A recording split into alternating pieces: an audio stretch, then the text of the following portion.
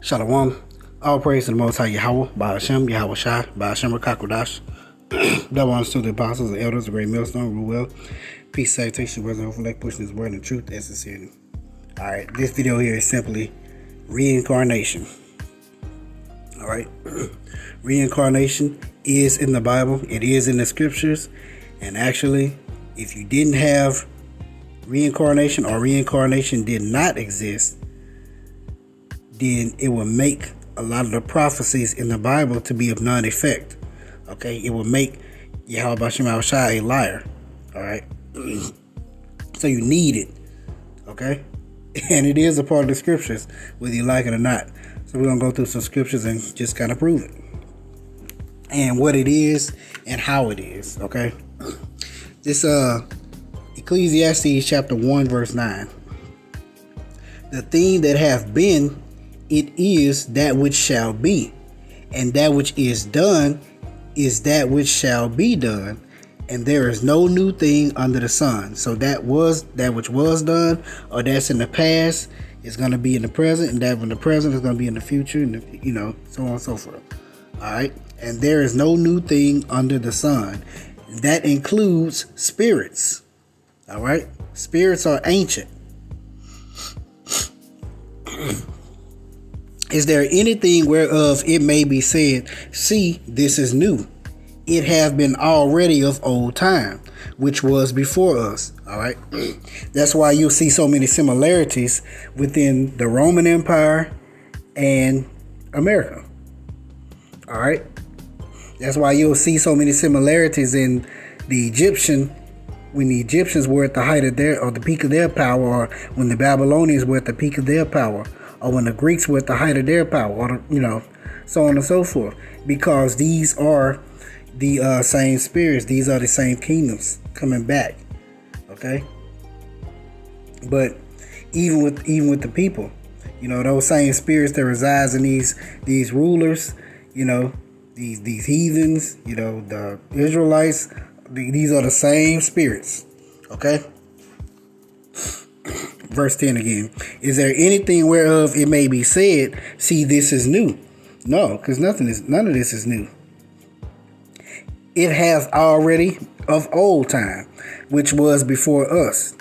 There is no remembrance of former things. All right. That's the key point there. There is no remembrance of former things. So when you die, or when you die this fleshly death, and you come back and you know you come back in another body, Okay? You don't remember your past life. You know, you don't remember who you were before then. You don't remember what job you had. You don't remember what kept you in. You know, there's no remembrance of former things. Neither shall there be any remembrance of things that are to come with those that shall come after. So in the future, if you die, you're not going to remember the things that took place in the future. Okay? That simple. Just remember, when it comes to reincarnation, there is no remembrance of former things. So, thus, you're not going to remember past lives. This is what it is, okay?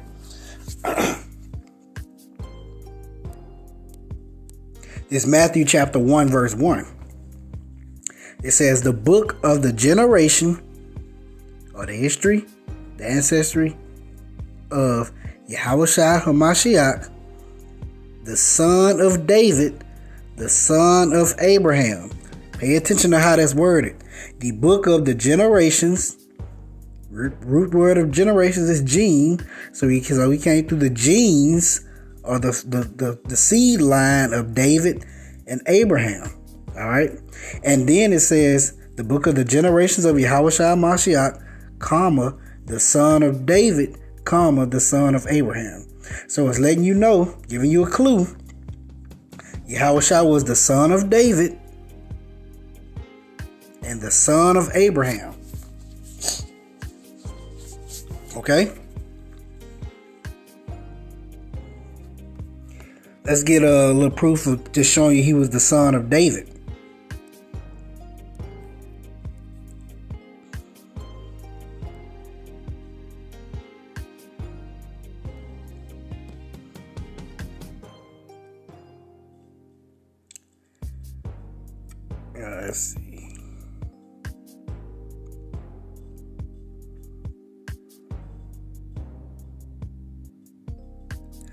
Gonna start at verse 10. 2 Samuel chapter 7, verse 10.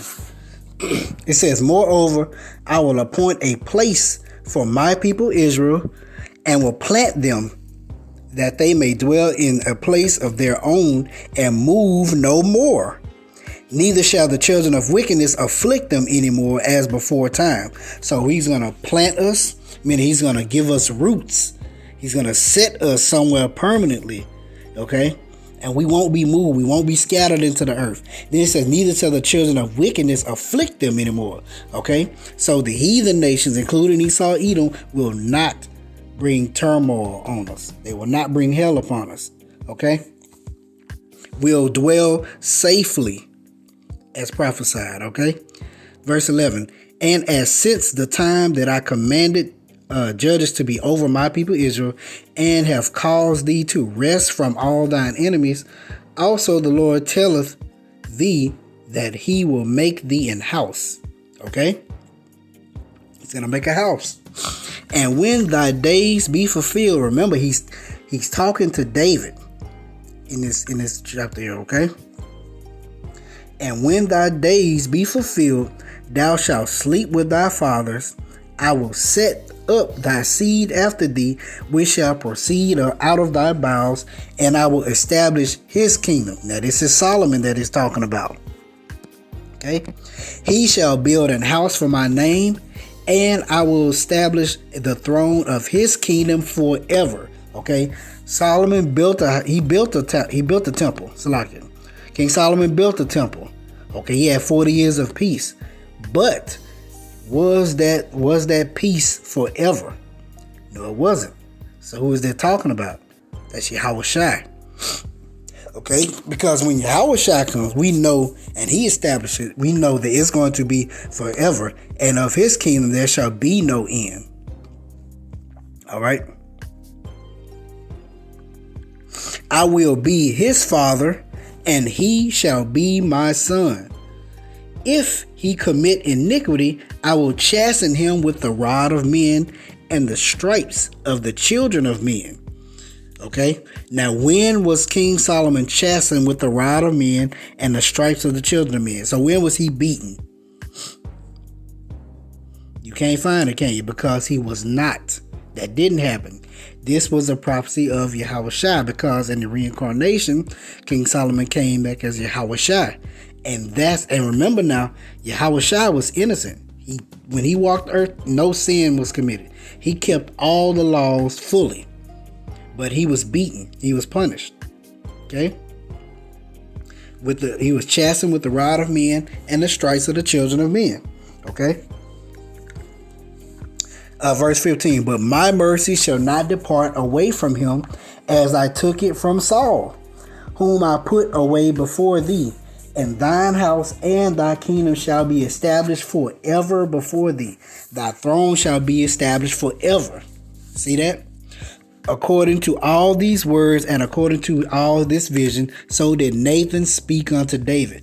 I had to point that out. So Nathan was giving this prophecy unto David about a son that would come out of his bowels, out of his loins, that um that, that the Lord would establish a kingdom and set him up on a throne, and it would be forever. We know King Solomon's um reign of peace was 40 years, um, but it but it wasn't forever. Okay. This was talking about Yahweh Shai.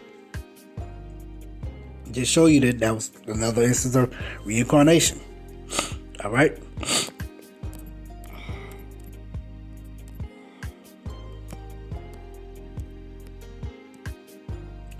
This is Ecclesiastes chapter 3, verse 16.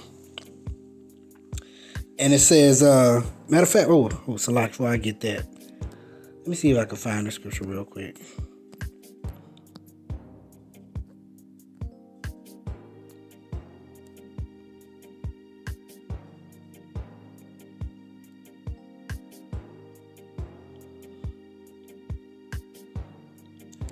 Yep, here it is. Okay. So so what I just uh, brought out in Second Samuel was the first part of here where it says the book of the generation of Yahushua Mashiach, the son of David, which was Solomon. Okay, so we showed you how um, Solomon was uh, in the reincarnation, and then it says the son of Abraham. The son of Abraham. Remember, Abraham had two sons. He had uh, Isaac and um, and Ishmael. Remember, Ishmael was the, the son that was not chosen, but Isaac was the son that was chosen.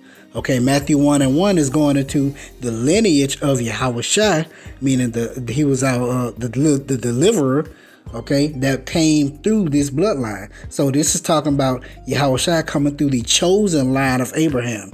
And it was Abraham, Isaac, and Jacob. So Abraham, Salaki, so Isaac was Abraham's son. All right, so the son of Abraham is referring to Isaac. So let's get that. Okay. All right, so I'm going to start at Genesis chapter 22, verse 5. It says, And Abraham said unto his young men, Abide ye here with the ass, and I and the lad will go yonder and worship and come again to you. Talking about Abraham and Isaac. Okay. Verse 6 And Abraham took the wood of the burnt offering and laid it upon Isaac his son. And he took the fire in his hand and a knife, and they both, so like, and they went both of them together.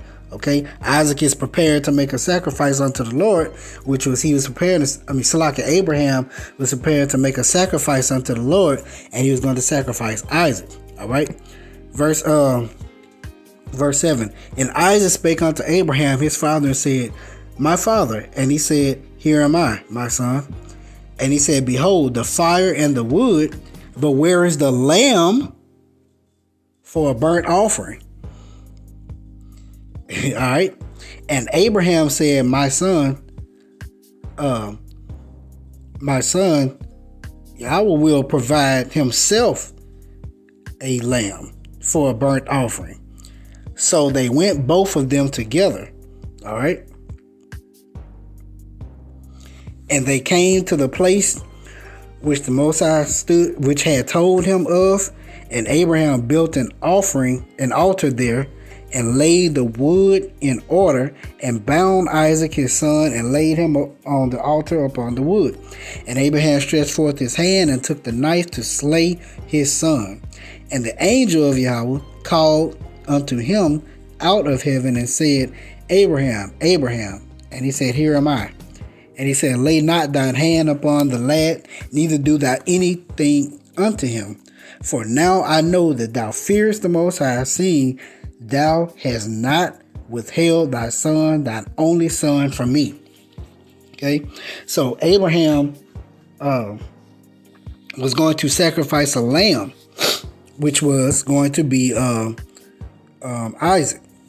Okay, so Isaac was referred to as a sacrificial lamb in this point, and we know that uh, Yahweh Shah is that sacrificial lamb. Okay, he's that lamb that came to take away the sins of the world or the sins of Israel. Matter of fact, let's get that real quick.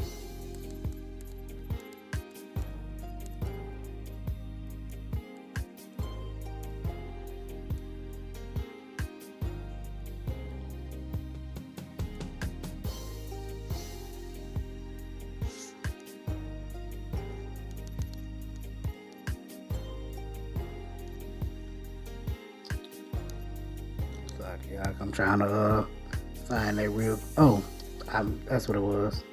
I misquoted it.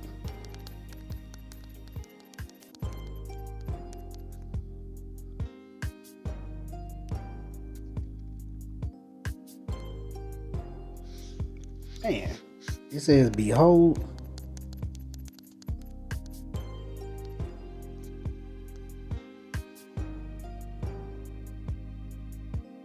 Yeah, this it. Man. Alright. The sin of the world. Okay. This is uh, John chapter 1, verse 29. It says, The next day John seeth Yahweh coming unto him and says, Behold, the Lamb of the Most High, which taketh away the sin of the world. Okay? So Yahweh was that sacrificial lamb, or that lamb that was coming to take away the sins of the world. And Isaac was referred to as um, that lamb. All right, so we got Yahweh was Isaac and Yahweh was King Solomon in the past. Okay.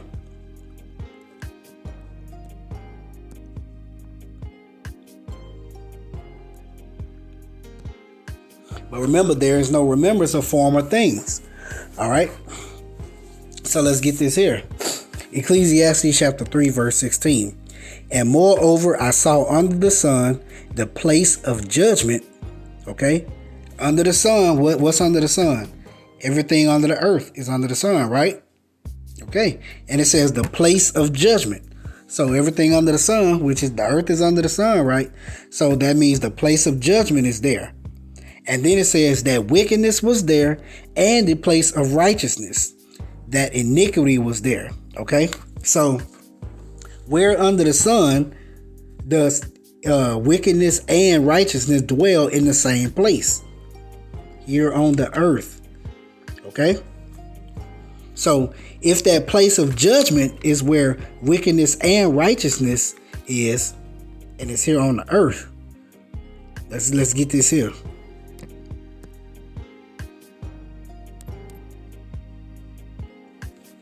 Second Ezra chapter 14, verse 35.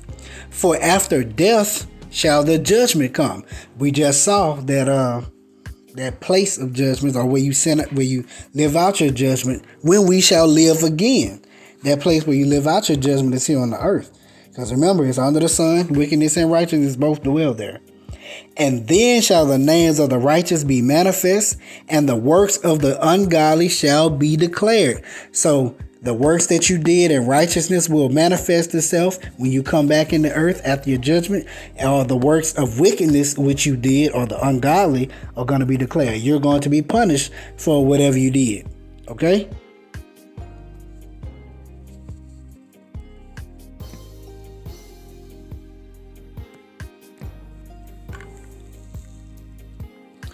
All right. Uh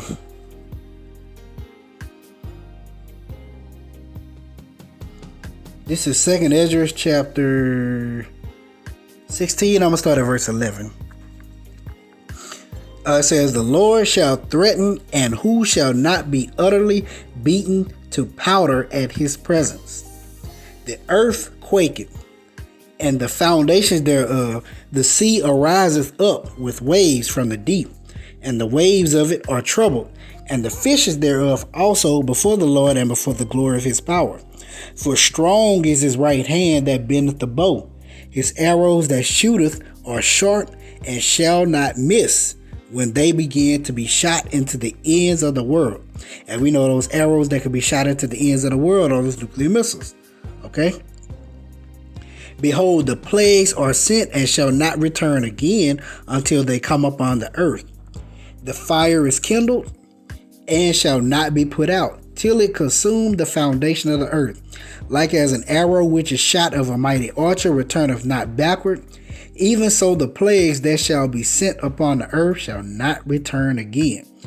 And then then Ezra said, Woe is me, woe is me, who will deliver me in those days. Okay? So Ezra was given this uh this vision this angel was prophesying to him, letting him know what's going to happen in the end times or in the end days, the last days, you know, or, or, or leading up to your house. Yahushua's return, right?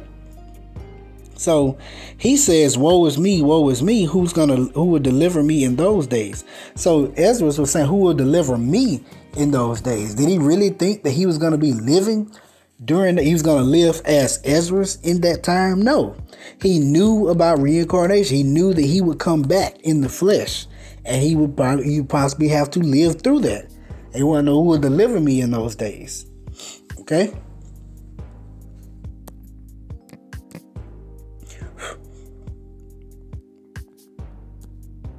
Like I said, just getting a few examples of reincarnation showing that it is in the scriptures. It is biblical. All right, this is Matthew chapter 17, verse 10. And the disciples asked him, saying, Why then say the scribes that Elias must first come? And Elias is Elijah. Okay? And Yahushua answered and said unto them, Elias truly first come and restore all things. Verse 12. But I say unto you that Elias is come already. So Yahushua saying Elias already came and they knew him not, but have done unto him whatsoever they listed. Likewise shall also the Son of Man suffer them. Okay? So yeah, uh, Elijah already came, which was verse, verse 13, I'll tell you. Then the disciples understood that he spake unto them of John the Baptist. So they understood reincarnation. They understood that, oh, that was Elijah that came already and, and didn't know him. And they killed him. Okay? They they knew that John the Baptist was Elijah in the reincarnation. All right?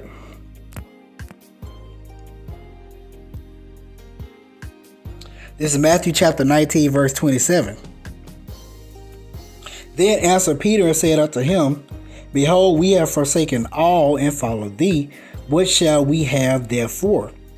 And Yahweh say unto them, Verily I say unto you, that ye which have followed me in the regeneration, when you come back, when the Son of Man shall sit in the throne of his glory, ye also shall sit upon twelve thrones, judging the twelve tribes of Israel. All right?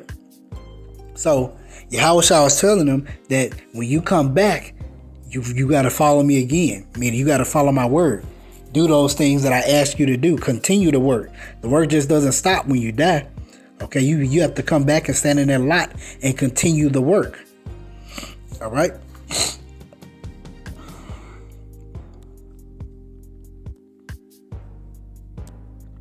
This is John chapter 9, verse 1. And as Yahweh passed by, he saw a man which was which was blind from his birth. And his disciples asked him, saying, Master, who did sin, this man or his parents, that he was born blind? Now, if you have no clue, no idea, don't believe in reincarnation, why would you even ask a question like this? You wanna know why? because they had the understanding of reincarnation. All right. Verse 3 But Yahweh answered, Neither hath his man sinned, nor his parents, but that the works of the Most High should be made manifest in him. All right. So in this case, this wasn't uh, reincarnation of what happened. Okay. But the whole point of it is you can't move past the fact that the disciples asked him about how, now, how was you to sin when they asked who did sin, this man or his parents. So why would you ask if somebody sinned? If this man sinned that he was born blind, how was he gonna sin before he was born? Well, was he sinning in the heavens? Was he sinning, you know, you in the presence of, of the Most High? No, he's talking about in the past life in the reincarnation. Okay.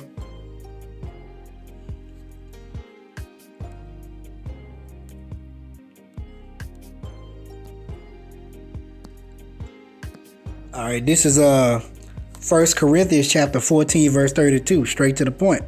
And the spirits of the prophets are subject to the prophets, okay? Simple. Easy. If you were a prophet in the past life, you will come back as a prophet. If you was a uh, you was a teacher in the past life, you will come back as a teacher. Okay? If you was a scoffer past life, you gonna come back as a scoffer. All right. Same thing with uh Israelites. Okay. Uh, not just Israelites. So like uh, uh, the tribe and who we are. Okay. If you were an Israelite in the past life, you're gonna come back as an Israelite. If you were Edomite, you're gonna come back as Edomite. You were Moabite, you know, Ammonite, Hamite, uh, Japhite. You're gonna come back as what you are. You're not gonna change. Okay.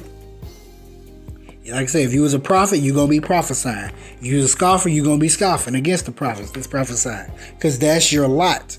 That's what you're coming back in. You're subject to that lot, or you're subject to the role in this movie in which you were given. All right, your role is not gonna change. You know, if your role was to be a prophet, it's gonna always be a prophet.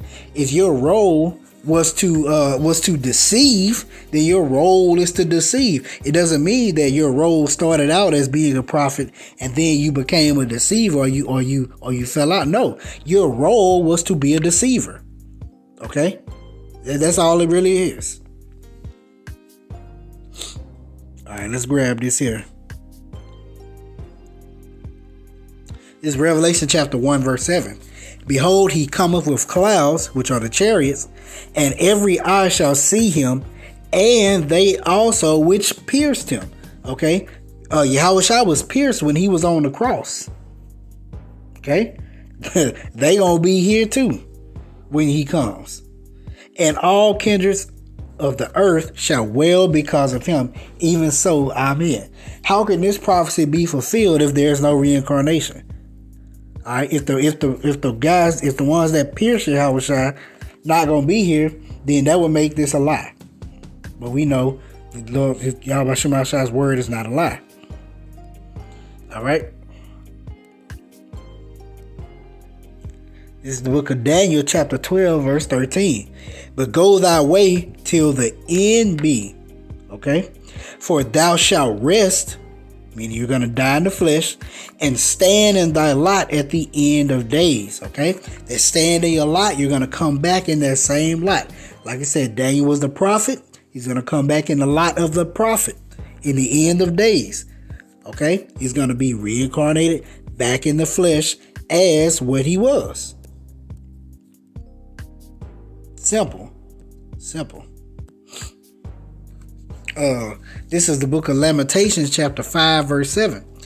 Our fathers have sinned and are not. Okay? Our fathers have sinned, they went off, they disobeyed Yahweh, the Yahweh They did contrary to what uh to the law, statutes, and commandment. They did contrary to what we were uh, what were given, okay, and are not, and they died. Okay, they're not. They're not anymore. Okay, they're not here. And it says, and we have borne their iniquities. Okay, we've taken on their iniquities. We're suffering from the sins of our fathers. But there's a reason for that. Okay, let's get that. This is the reason why, because you got to remember, uh, the Lord, He's a just power. He's fair. He ain't gonna, he ain't gonna punish you or make you suffer and for no reason. No, there's a reason for it. Okay. This is Exodus chapter 20, verse 5. Thou shalt not bow down thyself to them, nor serve them, for I, Yahweh, thy power, am a jealous power, visiting the iniquity of the fathers upon the children. Pay, pay attention to this. Visiting the iniquities of the fathers upon the children unto the third and fourth generation of them that hate me. Okay? So those sins, you're gonna you're gonna suffer for those sins or we went off in the third and fourth generation. All right. So putting it together, uh, you go up, you die, you go up, get your judgment, and then you come back in that place, that place of judgment under the sun, which which wickedness and righteousness dwell. Okay, which is the earth. You serve out your judgment after three or four generations. Okay, that's all it is. All right, this is the last one I want to get here. It's Revelation chapter 10, verse 11. Okay, this is him talking to John, the Revelator. It says, And he said unto me, Thou, meaning talking to you, must prophesy again before many peoples and nations and tongues and kings. Okay? So John the Revelator was on the Isle of Patmos when he was getting these visions. Okay? When he was getting uh, what he was getting from the book of Revelation. And uh, this angel told him that you must prophesy again, so you're going to come back. And I remember he was in his older age at this point too he, he, there's no record of him leaving off the Isle of Patmos and going and prophesying, uh, you know, to the world, you know, going to different places after here. Okay, but it says, "Thou must prophesy again before many peoples, and nations, and tongues, and kings." That means he's back here, possibly now, prophesying, uh, like I said, in front of more, of, uh, amongst many people, before many people, nations, tongues, and kings. That's all it means. He's to come back and serve out, and, and he's to come back in his lot and speak this word. He's to prophesy, okay, in the reincarnation. All right. So, uh, call Lord Yahweh Shema Shai by Shibakakwadash. Um, hope you're edified on that. You see you back with another lesson. Shalom.